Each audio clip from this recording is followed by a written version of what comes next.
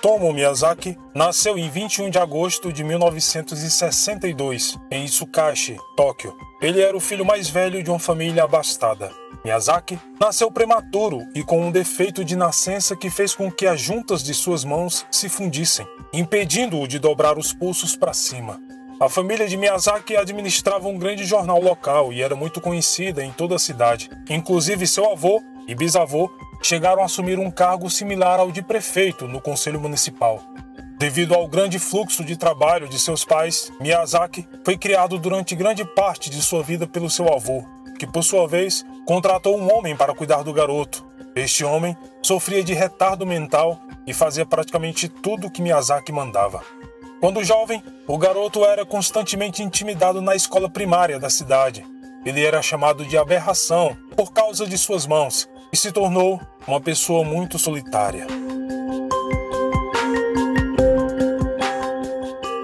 Na adolescência, Miyazaki estudou na Meidai Nakano High School, em Nakano, uma escola de segundo grau muito cara, associada à Meijin University. Lá, ele começou a se destacar como o melhor aluno da escola, até que de repente as suas notas começaram a cair drasticamente.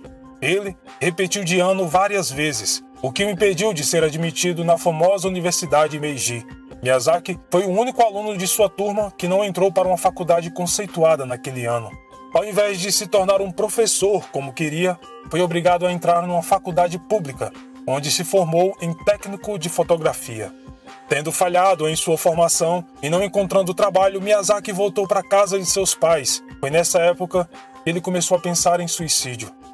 Como muitos devem saber, o suicídio no Japão tem uma associação com a salvação do nome ou fama da pessoa e de sua família. A questão religiosa, neste sentido, é fundamental, pois budismo e shintoísmo, diferentemente das religiões cristãs, não trazem o estigma do pecado atrelado ao ato de suicidar-se. O suicídio é visto até mesmo como uma boa maneira de resolver determinadas situações, não sendo visto como um ato de desespero, mas sim de rigorosa abnegação e lucidez. A força de vontade exigida para tirar a própria vida expressa orgulho, revidando o suposto ultraje e afastando o fracasso pessoal. Mas Miyazaki se sentia tão fracassado que não foi capaz nem mesmo de cometer suicídio. Como passou grande parte da vida com seu avô, ele não era muito apegado aos seus pais e irmãos, e ter que morar na casa deles por não conseguir emprego era algo sufocante. Em maio de 1988, seu avô morre, o que o deixou super deprimido e perturbado. Em um estado de loucura, Miyazaki comeu as cinzas de seu avô para ficar mais perto dele.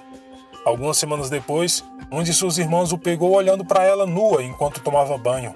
Ela gritou e ele tentou atacá-la.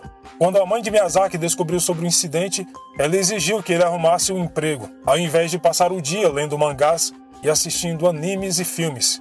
Furioso, ele também tentou atacar a própria mãe, mas foi contido pelos funcionários da família. Miyazaki resolveu então sair da casa dos pais e foi morar sozinho em um apartamento barato, onde começou a fazer pequenos trabalhos como fotógrafo. Mas ele não se conformaria com a vida simples e humilde. Entre agosto de 1988 e junho de 1989, Miyazaki matou brutalmente quatro meninas com idades entre 4 e 7 anos e estuprou seus cadáveres. Ele também bebeu sangue de uma das garotas e chegou a comer parte dos corpos. A polícia logo o pegaria. Em 22 de agosto de 1988, um dia após Miyazaki completar 26 anos, Mari Kono, uma menina de 4 anos, sua primeira vítima, estava brincando na casa de uma amiga. Miyazaki convenceu a garota a entrar em seu carro, um Nissan preto. Então, ele dirigiu por um tempo. Estacionou o carro numa ponte perto de uma floresta fora da cidade. O homem conversou com a criança por cerca de meia hora antes de matá-la e cometer necrofilia. Ele então levou o corpo dela para uma colina perto de sua casa, tirando suas roupas e levando-as com ele. Depois de algum tempo, antes do corpo da criança entrar em decomposição, voltou ao local e decepou as mãos e os pés da menina, que guardou em seu armário. Miyazaki então queimou os ossos restantes em uma fornalha até virarem pó. Depois, ele enviou para a família em uma caixa. junto com alguns de seus dentes, algumas fotos de suas roupas e um cartão que dizia: Mari, cremada, ossos. Investigue, prove. Em 3 de outubro de 1988, Miyazaki sequestrou uma menina de 7 anos chamada Masami Yoshizawa, depois de avistá-la sozinha em uma estrada rural. A polícia afirma que Miyazaki ofereceu uma carona para a casa da garota, o que ela concordou. Depois, ele a levou ao mesmo lugar onde matou sua primeira vítima. O homem então disse que matou a criança e depois cometeu necrofilia, tirando as roupas dela e levando-as com ele como fez antes. Em 12 de dezembro de 1988, Miyazaki sequestrou Erika Namba, de 4 anos, quando ela saía da casa de uma amiga nas redondezas. Desta vez, Miyazaki forçou Namba a entrar no carro e dirigiu até um estacionamento em Naguri, Saitama, onde a forçou a se despir no banco de trás e começou a tirar fotos dela. Miyazaki então matou Namba, amarrou suas mãos e pés, a cobriu com o um lençol e colocou seu corpo no porta-malas.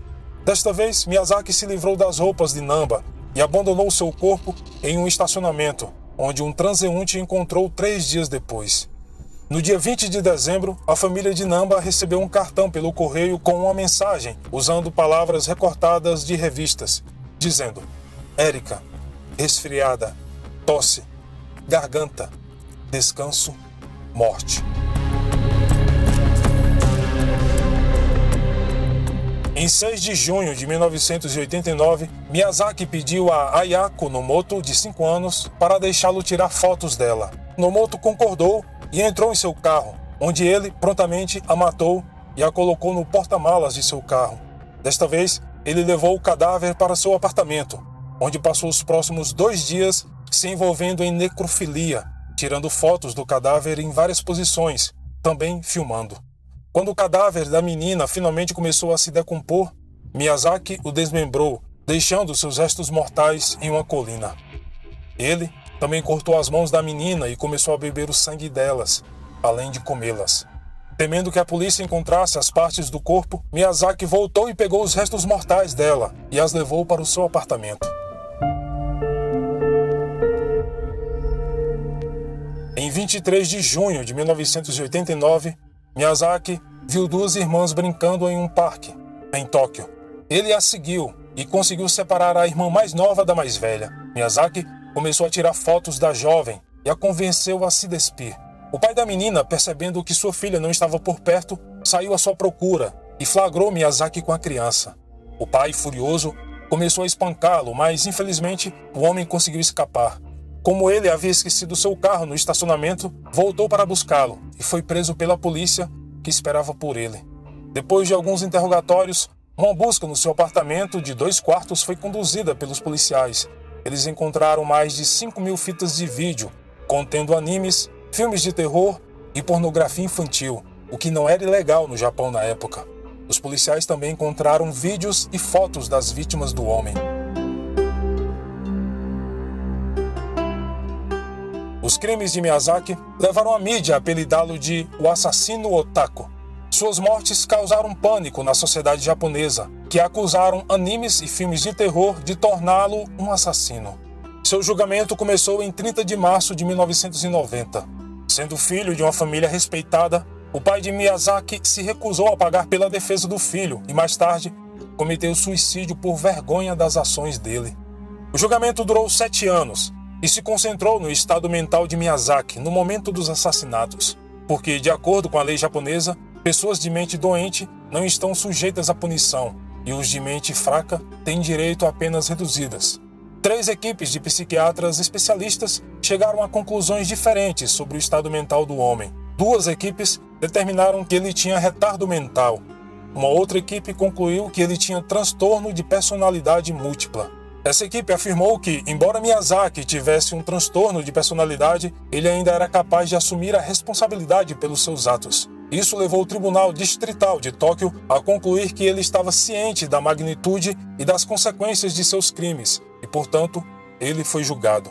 Miyazaki foi condenado à morte em 14 de abril de 1997. Sua sentença de morte foi mantida pelo Tribunal Superior de Tóquio e pelo Supremo Tribunal de Justiça em 17 de janeiro de 2006. O ministro da Justiça, Atoyama, finalmente assinou a sua sentença de morte, e Miyazaki foi enforcado na casa de detenção de Tóquio em 17 de junho de 2008.